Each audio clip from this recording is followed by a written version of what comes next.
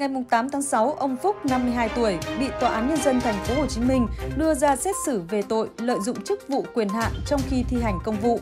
Các bị cáo Trương Văn Em, cựu tri cục trưởng bảo vệ môi trường, tri cục bảo vệ môi trường Bến Tre, Trần Thị Thùy Trang, cựu trưởng phòng kiểm soát ô nhiễm, Trần Thanh Phong, chuyên viên phòng kiểm soát ô nhiễm, tri cục bảo vệ môi trường Bến Tre bị truy tố cùng tội danh liên quan đến vụ án Dương Tuấn Anh và ba nhân viên công ty trách nhiệm hữu hạn sản xuất kinh doanh dịch vụ xây dựng Hồng Việt, công ty Hồng Việt bị truy tố về tội buôn lậu. Là người có vai trò chính trong vụ án, ông Lê Hữu Thiêm, giám đốc công ty Hồng Việt đã chết nên không bị truy cứu trách nhiệm hình sự. Chiều 8 tháng 6, lãnh đạo Phòng điều tra hình sự quân khu 5 cho biết, hiện tại cơ quan điều tra đã mở rộng hướng điều tra, truy bắt tên tội phạm nguy hiểm Triệu Quân Sự, phạm nhân trốn khỏi trại giam T10 ra hướng Bắc đèo Hải Vân. Theo đó, Cục Điều tra Hình sự Bộ Quốc phòng đã có mặt tại thành phố Đà Nẵng phối hợp với các lực lượng quân khu 5, Bộ đội Biên phòng, Công an thành phố Đà Nẵng để bàn phương án tìm kiếm đối tượng. Cũng theo vị lãnh đạo này, các cơ quan điều tra đã nhận định có thể Triệu Quân Sự đã đi khỏi khu vực phía Nam đèo Hải Vân.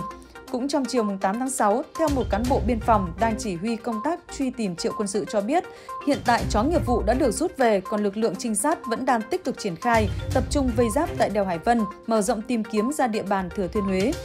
Về phía cơ quan công an, Đại tá Trần Mưu cho biết, Đến chiều nay, cơ quan điều tra vẫn chưa thu nhận được manh mối mới về phạm nhân Triệu Quân Sự. Các tròi dãy ở núi Hải Vân chưa có gì bất thường.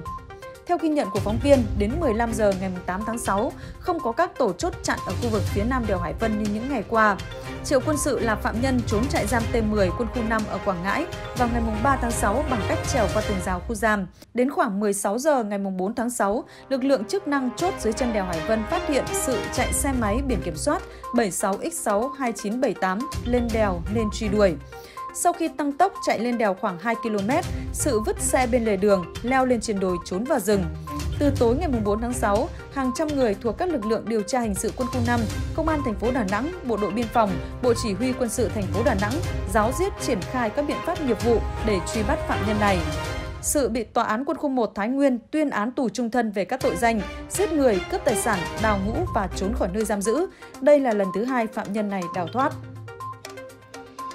Chiều ngày 8 tháng 6, Phòng Cảnh sát điều tra tội phạm về ma túy Công an Hà Nội cho biết đang tiếp tục phân loại xử lý nhóm sử dụng ma túy trong quán karaoke Phương Linh ở huyện Quốc Oai.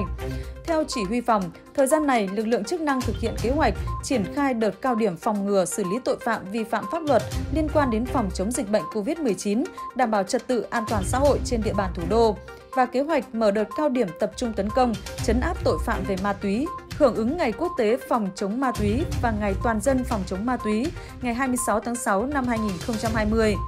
Khoảng 1 giờ sáng ngày 7 tháng 6, tổ công tác kiểm tra phát hiện quán karaoke Phương Linh, địa chỉ ở xã Cộng Hòa, huyện Quốc Oai, chứa chấp cho khách đến quán sử dụng ma túy tổng hợp. Tổ công tác phát hiện 7 phòng đang mở nhạc mạnh, trong đó có 6 phòng đang có khách bay lắc sử dụng trái phép ma túy tổng hợp lực lượng chức năng thu giữ tăng vật 4,456 gram ma túy tổng hợp các loại, 3 tàu hút tự tạo dính ketamin cùng một số dụng cụ dùng để sử dụng trái phép chất ma túy. Qua đấu tranh phân loại, cơ quan chức năng xác định có 54 trên 68 đối tượng dương tính với ma túy, vụ việc đang được điều tra mở rộng. Chiều ngày 8 tháng 6, Công an quận Hoàn Kiếm, Hà Nội cho biết đơn vị vừa bắt giữ 14 người có hành vi gây dối trật tự công cộng, đâm trúng người dân dừng đỗ đèn đỏ vào dạng sáng ngày 7 tháng 6. Theo tài liệu điều tra, vào khoảng 0 giờ đến 0 giờ 30 phút ngày 7 tháng 6, một nhóm nam nữ thanh niên lái khoảng 20 chiếc xe máy các loại chạy với tốc độ cao, bấm còi inh ỏi, gây dối trật tự công cộng trên các tuyến phố ở quận Hoàn Kiếm. Quá trình gây dối trật tự công cộng, một số xe trong nhóm trên gây tai nạn, đâm vào người dân dừng đỗ đèn đỏ tại ngã tư hàng tre, hàng thùng, Lý Thái Tổ, Hoàn Kiếm. Sau đó, Công an quận Hoàn Kiếm tổ chức truy bắt xác định 14 người đều trú ở Hà Nội có hành vi gây dối trật tự công cộng gồm Trần Công Minh sinh năm 1997 trú tại Thanh Trì, Trương Tiến Quang sinh năm 2004 trú tại Tây Hồ, Lê Anh Tài sinh năm 2004 trú tại Tây Hồ, Nguyễn Duy Tuấn sinh năm 2003 trú tại Thanh Trì, Đoàn Quốc Việt sinh năm 2003 trú tại Thanh Trì, Dương Văn Đạt sinh năm 1993 trú tại Tây Hồ, Hoàng Minh Đức sinh năm 2002 trú tại Hà Đông, Lê Thảo Anh sinh năm 2002 trú tại Long Biên đang bị xử án treo 18 tháng về tội lừa đảo chiếm đoạt tài sản. Lê Thảo Anh sinh năm 2002 trú tại Long Biên đang bị xử án treo 18 tháng về tội lừa đảo chiếm đoạt tài sản. Dương Yến Nhi sinh năm 2004 trú tại Long Biên, Nguyễn Diễm Quỳnh sinh năm 2002 trú tại Long Biên, Phạm Trúc An sinh năm 2005 trú tại Gia Lâm, Nguyễn Khánh Ly sinh năm 2003 trú tại Hoàng Mai, Nguyễn Yến Chi sinh năm 2003 trú tại Tây Hồ. Công an quận Hoàn Kiếm tiếp tục củng cố tài liệu, xác minh làm rõ những người có liên quan để xử lý theo quy định của pháp luật.